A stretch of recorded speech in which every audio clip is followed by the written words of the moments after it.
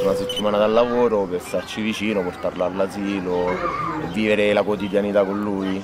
Uh-huh. E il destino ha voluto che sono salito una settimana prima della chiusura e quindi ho dovuto prendere la decisione di o tornare a Roma o magari non vederlo per due mesi. Io sono salita su con il mio compagno mm, il 5 marzo perché ho la seconda casa qui ma dovevamo farci inizialmente solamente quattro giorni, invece lunedì c'è stata l'ordinanza, quindi noi siamo rimasti qua con tre cambi di vestiti e abbiamo passato due mesi e mezzo qua, completamente isolati, con gli esami all'università da preparare, però ecco, c'è stato il comune di Città Reale che mi ha aiutato in questa cosa e sono molto contenta perché sono riuscita a portare avanti tre esami. Quindi... Io comunque lavoro in smart work da remoto anche a Roma, qui fortunatamente c'è il, il 4G quindi la connessione non ci è mai mancata, diciamo, avevamo tutti gli strumenti e c'erano tutte le condizioni per poter mantenere l'attività lavorativa senza il, il minimo problema. Non, per me stare a Roma o qui era indifferente, solo che qui la sensazione che, che hai pur vivendo in quarantena e pur essendo consapevole di quello che sta, sta accadendo è che sei un po' più protetto, quindi è un po' meno prigionia c'è tanto senso di appartenenza perché ci vedevamo sempre l'estate e quindi qua è un po' casa nostra. Certo. Quindi non ho avuto tante difficoltà nel, nel, scegliere perché comunque tra mio figlio e quella che sentiamo tutti un po' come casa non ho avuto difficoltà, certo un po' la, la solitudine quella diciamo che un po' pesato perché io sono in quel paese lì Marianitto, una frazione mm-hmm. città reale, ci sono 3-4 persone ma quelle poche che ci sono lavoravano nei campi quindi hanno continuato a fare la vita quotidiana, qui non, non si è sentito tanto comunque perché per fortuna non è arrivato il virus. Eh, siamo rimasti qua completamente deserto, non c'era nessuno, e...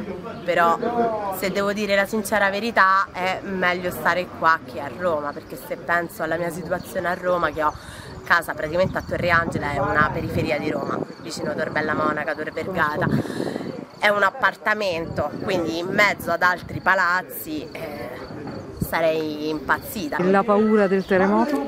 Eh, sì, la paura c'è, però penso ci siano le possibilità per, eh, con la prevenzione per, eh, per, combatterla. Tu ad agosto, durante il terremoto, eri qui? Sì.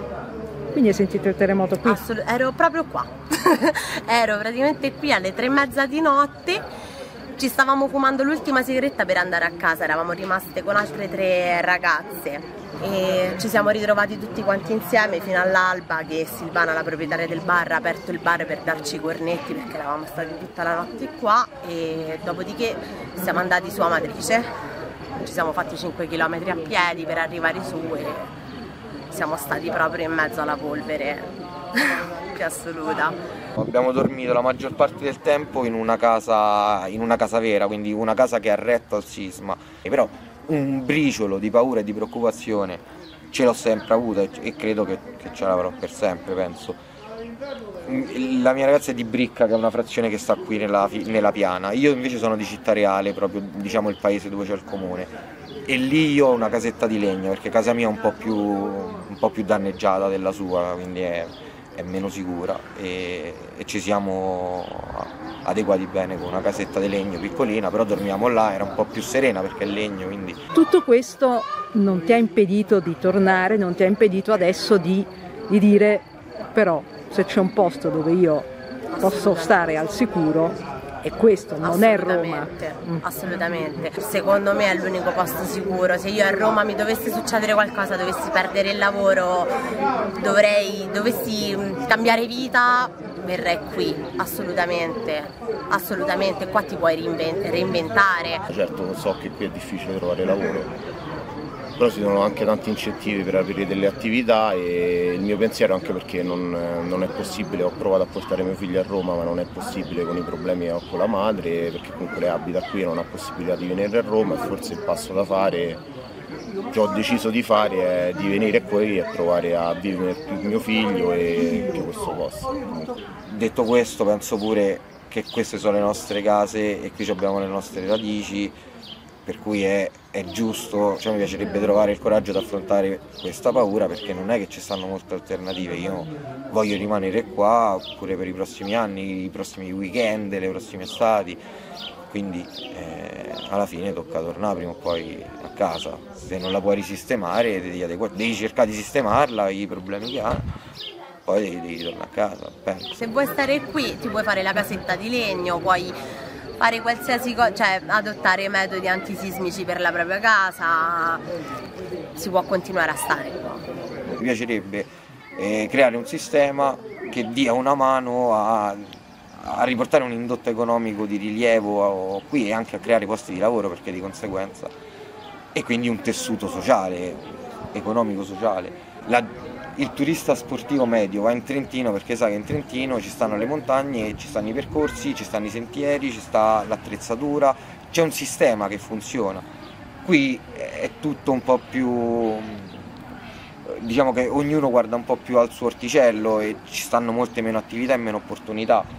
Detto questo è anche un territorio molto eh, quasi vergine, non, non esiste il turismo sportivo, è pressoché inesistente, quindi è anche un'opportunità e credo che se non lo fai adesso, se non ti attivi adesso, pure con altri ragazzi si paventava l'idea di poter, di poter aprire un campeggio, dando la possibilità magari il primo anno si, si riesce in quest'estate a chi ha la seconda casa che è inagibile di poter venire qua e ripopolarlo così perché sono convinto che magari vuole venire, cioè sono convinto che vuole venire e però non ha la possibilità, quindi mi piacerebbe dare la possibilità tutti di, di, ripopolare questo posto perché so che farebbe bene alle persone.